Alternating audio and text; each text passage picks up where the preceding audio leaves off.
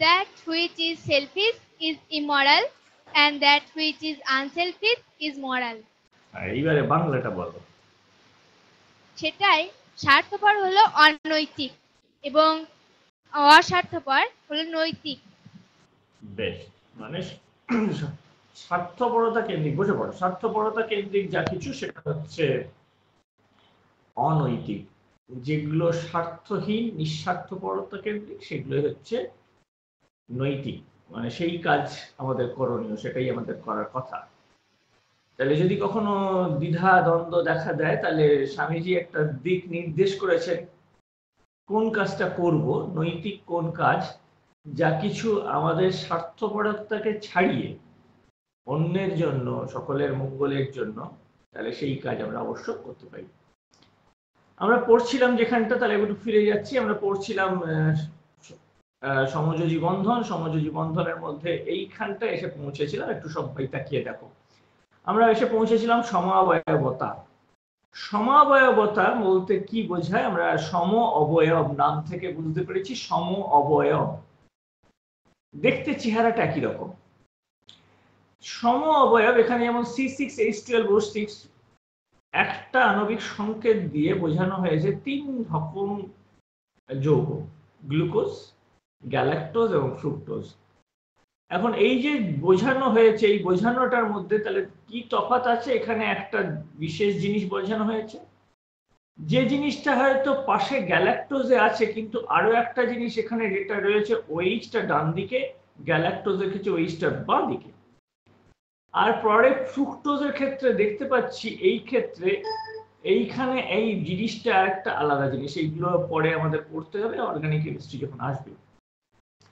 তাহলে যদিও আণবিক সংকেত তিনজনের এক, কিন্তু তিনজনের ধর্ম আলাদা খানিক অন্তত, এবং তিনজনের গঠনগত যে সংকেত, সেটা অনেক আলাদা।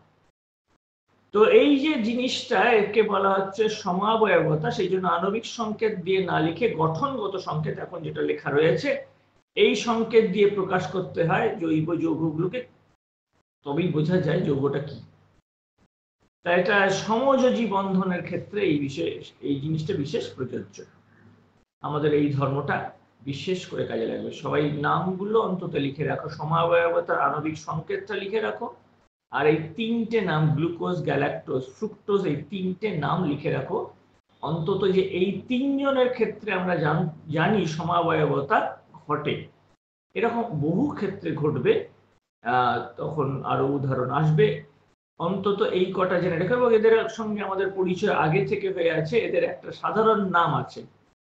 এদের একটা সাধারণ, এই তিনজনের একটা সাধারণ নাম আছে, যখন আমরা খাদ্য পড়ি বা পুষ্টি পড়ি, তখন এদের একটা সাধারণ নাম বলে থাকি। মনে পড়বে নবাবগঞ্জ বা বেগমপুর, কি নাম এদের সাধারণ একটা নাম আছে?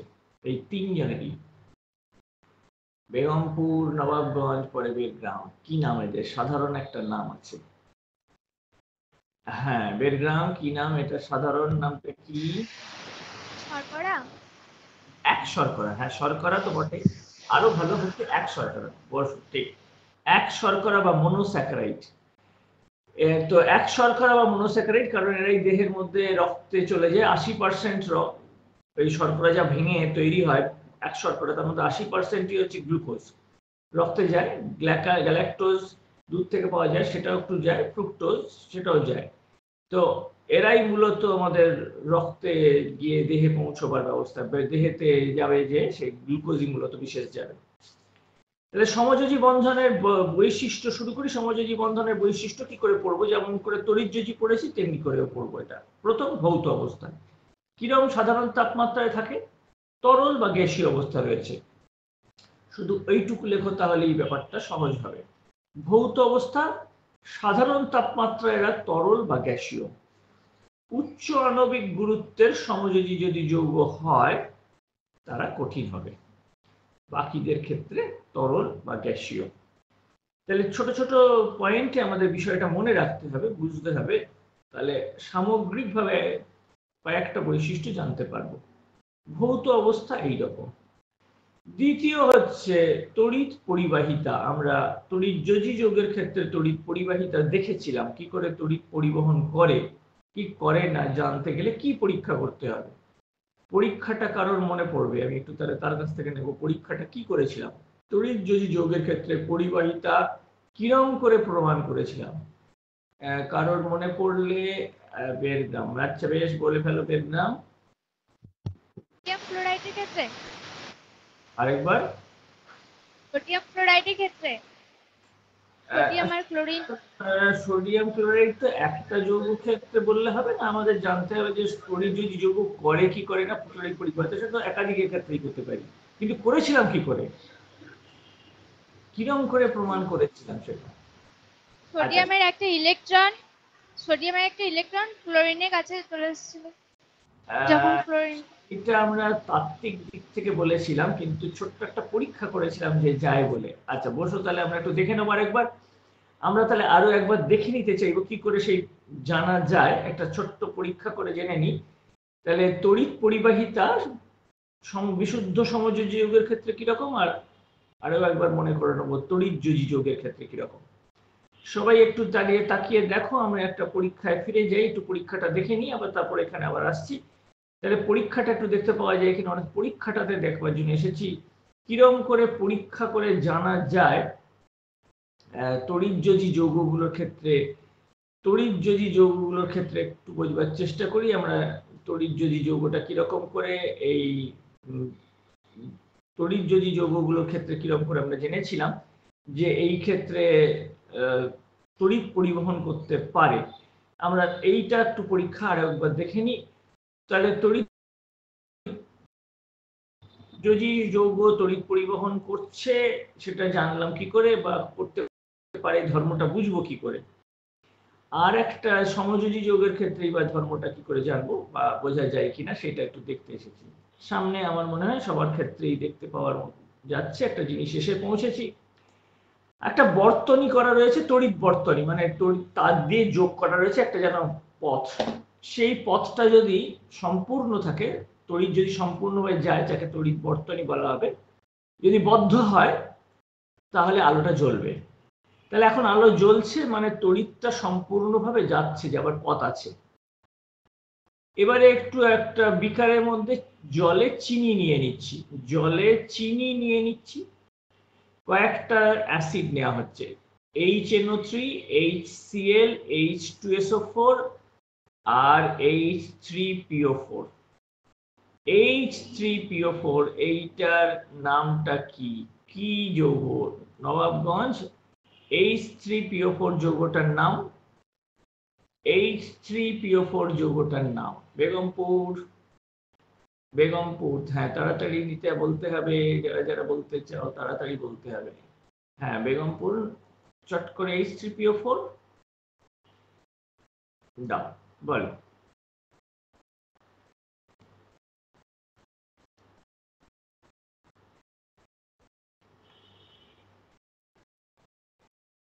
এইচ থ্রি পিও ফোর তাড়াতাড়ি একটু বেগমপুর তাড়াতাড়ি বলতে হবে। না, ছেড়ে দিলাম। H three P O four phosphoric acid phosphoric acid, তাহলে nitric acid sulphuric acid, hydrochloric acid, phosphoric acid নিয়েছি। তারপরে নিচ্ছি চিনির জল এবং বিশুদ্ধ জল। এবারে যদি দুটো তড়িৎদ্বারের প্রান্ত যোগ করে দেওয়া হয়েছে, একটা অ্যাসিডে ঢোকানো হয়েছে, তাহলে আলো জ্বলেছে মানে বুঝতে হবে বর্তনীর মধ্যে দিয়ে তড়িৎ প্রবাহিত হতে পারছে। যদি তুলে নিয়ে একটুখানি বর্তনী থেকে, তাহলে দেখো আলোটা নিভে গেছে মানে বর্তনী বিচ্ছিন্ন হয়ে গেছে। তাহলে তড়িৎ যেতে পারছে না আবারও একটা অ্যাসিডে ঢোকানো যাক। দেখো, আলো জ্বলেছে, তার মানে বুঝতে হবে যে তড়িৎ প্রবাহ সম্ভব হচ্ছে। তাহলে অ্যাসিডের মধ্যে আমরা ঢোকাচ্ছি আর তুলছি। তাহলে দেখতে পাচ্ছি তড়িৎ পরিবহন হচ্ছে। তাহলে আমাদের তড়িৎ যদি যৌগ তড়িৎ পরিবহনে সক্ষম।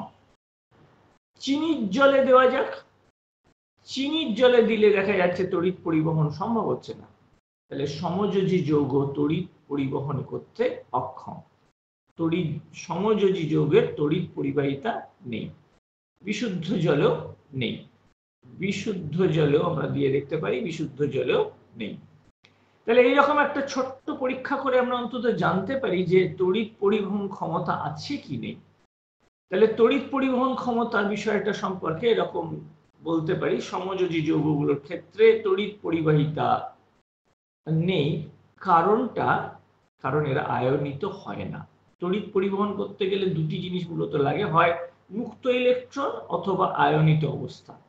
এখানে এরা আয়নিত হয় না। তড়িৎ যোজী যৌগ, অ্যাসিডগুলো ভেঙে যায় আয়নে।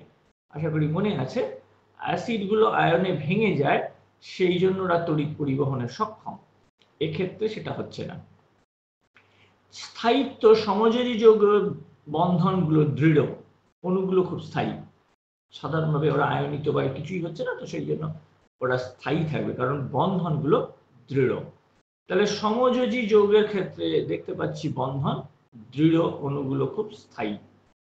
তাহলে ছোট ছোট মনে রেখো, তাহলে যে আমাদের এই ছোট ছোট বিষয়গুলো দিয়েই একটা বৈশিষ্ট্য কয়েকটা জানা গেল, সমযোজী বন্ধনকে চেনা যাবে।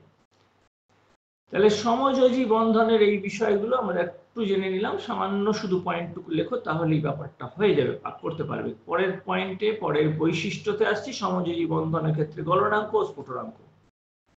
গলনাঙ্ক ও স্ফুটনাঙ্কটা কম।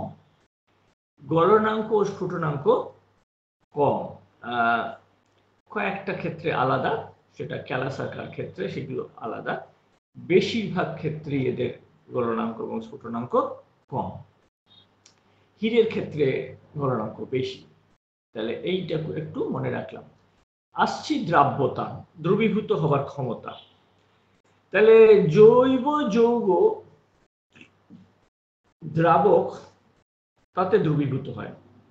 দ্রাবক কাকে বলে? নিশ্চয়ই মনে টনে আছে বেরগ্রাম দ্রাবক কাকে বলে? দ্রবণের। দ্রাবক কাকে বলে? বেরগ্রাম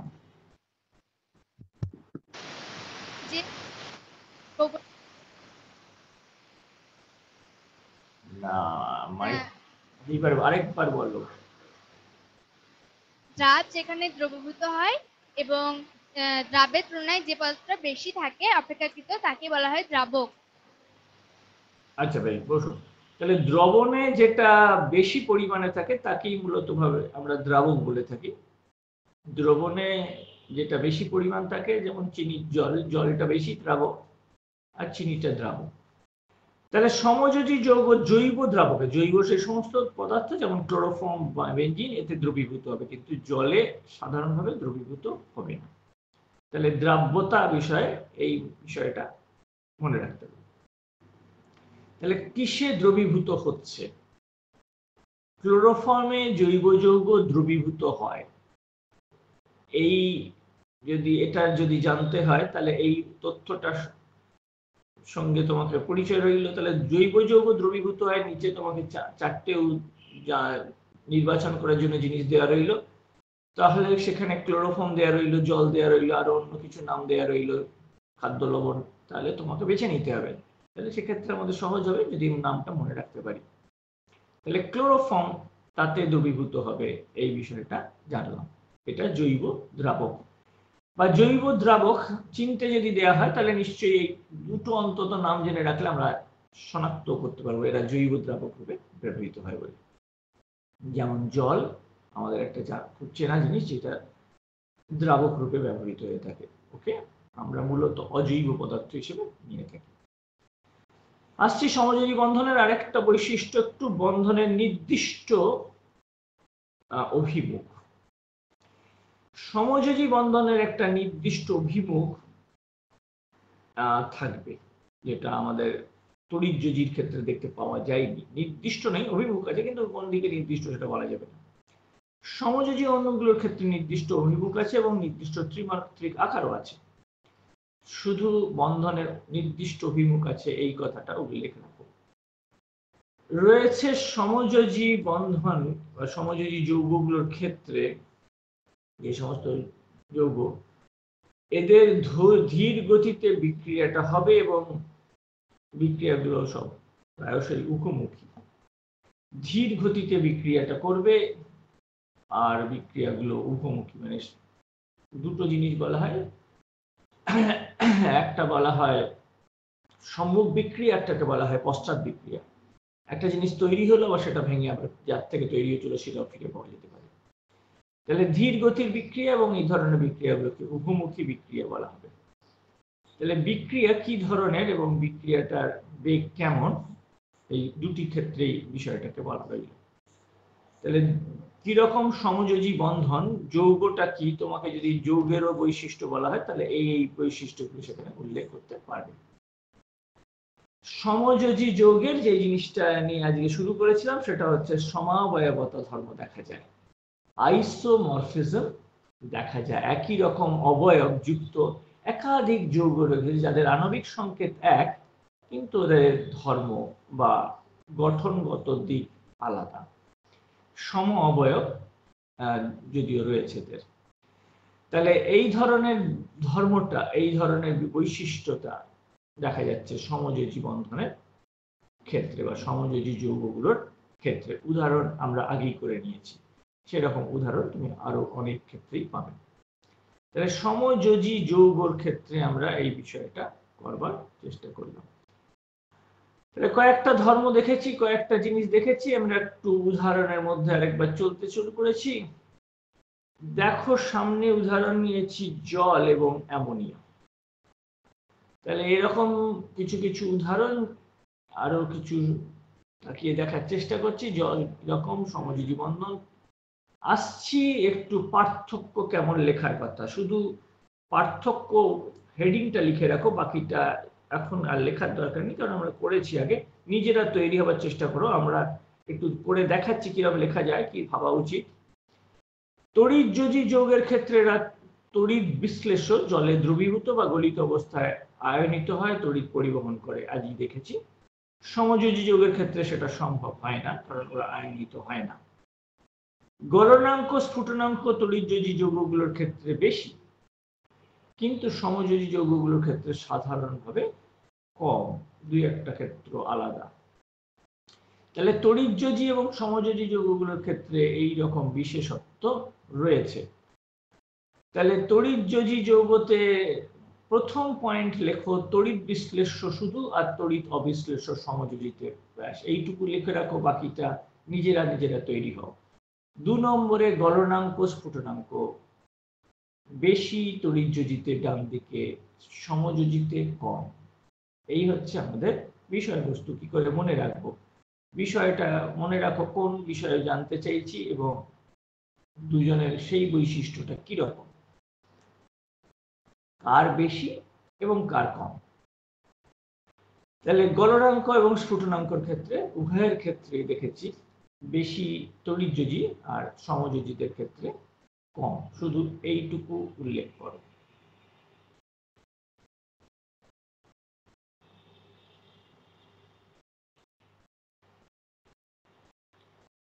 পরে আরেকটু পার্থক্য নিই, একটু পার্থক্য বোঝার চেষ্টা করি, আর একটু পার্থক্য নিচ্ছি। এখন নিয়েছি তিন নম্বরে দ্রাব্যতা। জলে দ্রাব্য তড়িৎযোজী যৌগ ডান দিকে লেখা আছে সমযোজী যৌগ জলে অদ্রাব্য, জৈব দ্রাবকে দ্রবীভূত হবে। চার নম্বরে আমরা নিয়েছি ইলেকট্রন গ্রহণ বর্জনের ব্যাপারটা রয়েছে তড়িৎযোজী যৌগ তড়িৎ যোজ্যতার ক্ষেত্রে। এবং তারপরে তড়িৎ আকর্ষণ দেখা যায় এবং তারা যৌগ গঠন করতে পারে। সমযোজী যোগের ক্ষেত্রে আয়নিত হওয়ার ব্যাপার বা ইলেকট্রন দেওয়া নেওয়ার ব্যাপারটা নেই। এদের ইলেকট্রন জোড় গঠন এবং পরস্পরেই ওই জোড়কে সমভাবে ব্যবহার করবে, এই রকমটা ভেবেই কাজটা করা হয়ে থাকে। ভৌত অবস্থা আমরা যেটা দেখেছিলাম, সাধারণ অবস্থায় তড়িৎযোজী যৌগগুলো কঠিন আর সাধারণ অবস্থায় সমযোজী যৌগগুলো সাধারণত দেখা যাচ্ছে ওরা কেশীয় বা তরল অবস্থায় রয়েছে।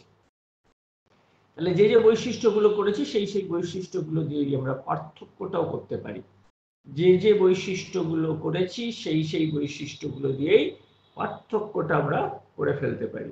তাহলে একটু পার্থক্যটা কি করে করব? আমরা একটু সেইভাবে করেছি, পার্থক্যটা এইভাবে লিখতে পারি, এইভাবে বুঝতে পারি। এবং কখনো কখনো আমাদের একটা কোনো বিশেষ বৈশিষ্ট্যেরই পার্থক্য চাইতে পারে। আমরা তার জন্য তৈরি হতে পারি। তো দ্রাব্যতার ভিত্তিতে দুজনকে পার্থক্য করা যায় কিনা দুজনকে সাধারণ উষ্ণতায় কি ভৌত অবস্থায় পাওয়া যায়, পার্থক্য করা যায় কিনা? অথবা এরা কি করে যৌগ গঠন করে, সেই পদ্ধতিতে পার্থক্য করা যায় কিনা? যে কোনো ভাবে আসলে আমরা সেটা করতে পারি। এবং আয়নিত হতে পারি কিনা? তড়িৎ পরিবহন ক্ষমতা আছে কিনা? এবং কোনো পরীক্ষার সাহায্যে প্রমাণ সহজে করা যায় কিনা? যে কোনো প্রশ্ন আমরা এইভাবে উত্তর করতে পারি। দুই একটা, আর দুই একটা করে নিচ্ছি। সেটা হচ্ছে সমাবয়বতা ধর্ম। শেষে আট নম্বরে করেছি, যেটা বিশেষ উল্লেখযোগ্য করেছি আজকে। ছ নম্বরে আসছি দ্রুত গতিতে ঘটে ধীর গতিতে ঘটে। আমরা এটা করেছি গতিবেগ এবং উভমুখী কিনা। অভিমুখ, তড়িৎযোজী বন্ধনের কোনো অভিমুখ আছে কিনা, সমযোজী বন্ধনের অভিমুখ আছে কিনা? এবং শেষে সময়বয়তা ধর্ম আবারও করেছি। তাহলে এই হচ্ছে আমাদের যে যে বৈশিষ্ট্যগুলো করেছি, সেই সেই বৈশিষ্ট্যগুলি নিলেই আমরা পার্থক্য করতে পারব। যদি দুটি পার্থক্য লেখো, তাহলে যে কোনো পার্থক্য লিখতে পারি। এবং সেক্ষেত্রে যদি উদাহরণ দেওয়ার জায়গা থাকে, তাহলে উদাহরণ দিয়ে দিতে হবে। তাহলে সমাবয়বতা ধর্ম, বিশেষ করে উল্লেখ করতে পারলে ভালো, এবং এটা নানা দিক থেকেই আসছে। সমাবয়বতা ধর্ম। তাহলে গতিবেগ, বিক্রিয়ার গতিবেগ, বন্ধনের অভিমুখ এবং সমাবয়বতা ধর্ম।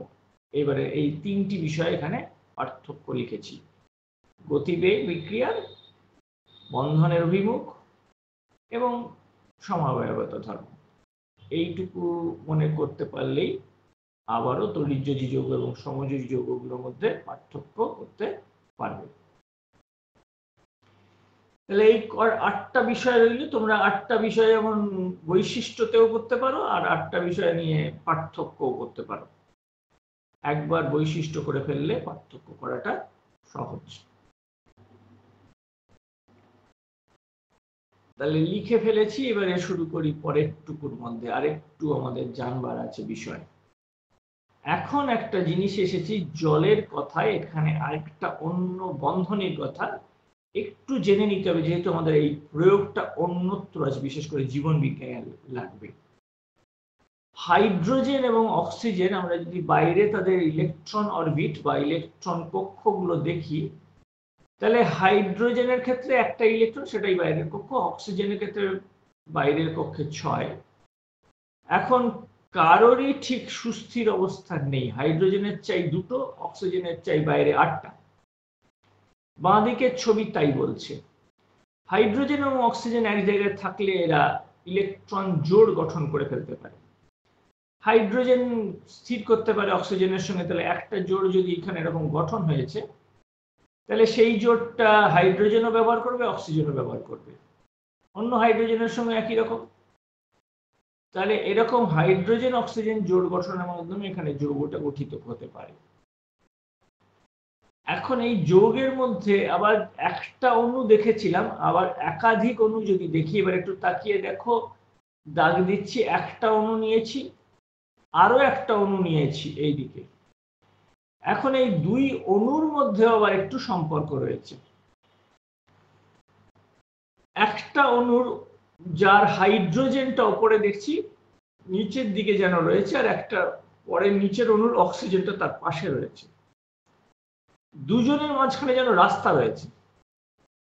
এখন হাইড্রোজেনের যে ইলেকট্রন, সেটা যেন ওই ওই দিকের বারান্দার থেকে একটু বেশি মুখ উঁচু করে দেখছে ওই দিকটা কি আছে, রাস্তার উপরে। তা অনেক ক্ষেত্রে কি হবে, না, বিষয়টা এই রকম হবে যে এর ইলেকট্রনটা যেন একটু বেশি ঝুঁকে চলছে। দেয়নি, কিন্তু একটু যেন অক্সিজেনের দিকে ঝুঁকে চলছে। এই ঝুঁকে চলার জন্য হাইড্রোজেনটা নিজেকে মনে করবে অনেক সময় যেন একটু বেশি ধনাত্মক। তাকে ডেল্টা প্লাস বলে চিহ্নিত করা হয়। যেন নিজে একটু ধনাত্মক হয়ে পড়ছে, যেন ইলেকট্রনটা একটু দূর দূর দিয়ে চলে যাচ্ছে বেশি সময়। আর অক্সিজেন পায়নি ইলেকট্রন হাইড্রোজেনের কাছ থেকে, কিন্তু একটু যেন ইলেকট্রন ওর দিকে তাকিয়ে আছে বলে একটু নেগেটিভ ডেল্টা নেগেটিভ এই রকম যে বন্ধনী হচ্ছে, তাকে বলা হবে হাইড্রোজেন বন্ধনী, কারণ এটা হাইড্রোজেনের জন্য এই ব্যাপারটা ঘটেছে।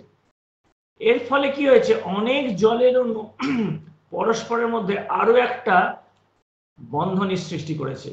না তো ইলেকট্রন দিয়েছে, নিয়েছে, না ইলেকট্রন জোড় গঠন করেছে, কিন্তু একটা আকর্ষণী শক্তি রেখেছে, যার নাম হাইড্রোজেন বন্ডিং বা হাইড্রোজেন বন্ধনী। এটার একটা বিশেষ গুরুত্ব রয়েছে, কারণ আমরা অনেক জায়গায় এইটা দেখতে পাই জীবজগতে। জীবজগতে এটা অনেক জায়গাতেই দেখতে পাই। কোথায় দেখতে পাই? কেউ একটা উদাহরণ দিতে পারো? নবাবগঞ্জ কোন উদাহরণ মনে পড়বে? জীবজগতে আমরা খুব বেশি দেখতে পাই কোথায়? বেরগ্রাম বেগমপুর, কোথায় দেখতে পাই? তাহলে এইটা একটা বিরাট বড় বিষয় যেখানে এটা দেখতে পাই।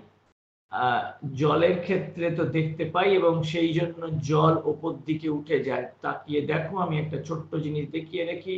সবাই ভালো করে তাকিয়ে দেখো। জল মাটি থেকে ওপর দিকে ওঠে জলের মধ্যে রয়েছে, অন্তত সেটা দেখে নাও, জলের মধ্যে যেটা থাকছে। জল মাটি থেকে উপরে উঠছে জাইলেমের মধ্যে দিয়ে। বাষ্পমোচন টানের জন্য, তাছাড়াও রয়েছে জলের অণুগুলোর মধ্যে পারস্পরিক আকর্ষণ। সেই জন্য একটা জলের কণা বিচ্ছিন্ন হয়ে যাচ্ছে না, একটা স্রোতের মতো উপর দিকে উঠছে, যদিও টান উপরে রয়েছে। তাহলে এই জলের অণুগুলোর মধ্যে এই বন্ধন, হাইড্রোজেন বন্ধন একটা মূল আরেকটা কারণ যার জন্য জলের কণাগুলো পরস্পর যুক্ত হয়ে রয়েছে। এবং তারপরে জানো জলটা অধিকাংশই ওপরে উঠে স্টোমাটা বা পত্ররন্ধ্র দিয়ে বেরিয়ে চলে যাচ্ছে এবং তারপরে আরও বেশি জলের উপরে টান সৃষ্টি হচ্ছে। এই জিনিসটা আমরা দেখেছি। তাহলে এই হচ্ছে আমাদের হাইড্রোজেন বন্ধন জলের